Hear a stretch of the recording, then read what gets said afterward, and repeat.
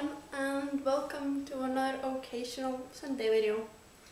Uh, this video is going to be a little bit special because I'm going to do something today that is way out of my comfort zone. As you probably have noticed, uh, is a bit obsessed with musicals. So what I was planning to do today is to play and sing I Dreamed a Dream.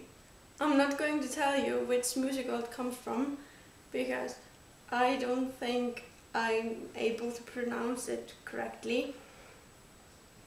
But I'm sure you know where it comes from. I was going to play um, I Dreamed a Dream, but as it turns out, uh, it's just not the right song for me. Um, I, I can't sing, it's just, it was awful, it was really terrible. So I played it instead and uploaded it to SoundCloud and you can find it in the uh, description box if you want to. Um, it's a really nice song, it's very dramatic and fun to play. Uh, what I decided to do instead was uh, to sing another song for you. Um, uh, the song is called A Thousand Years uh, by Christina Perri and I absolutely love it. Uh,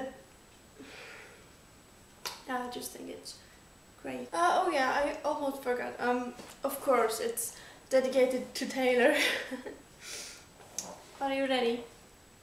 Because I'm not. Um, I've never sung anything uh, in front of anyone before, like professionally or in front of a crowd, or I've never taken lessons of any sort, so you have to be nice. And I don't know, I don't really know how it's going to turn out, but we'll just have to wait and see. Uh, so yeah, a thousand years for Taylor.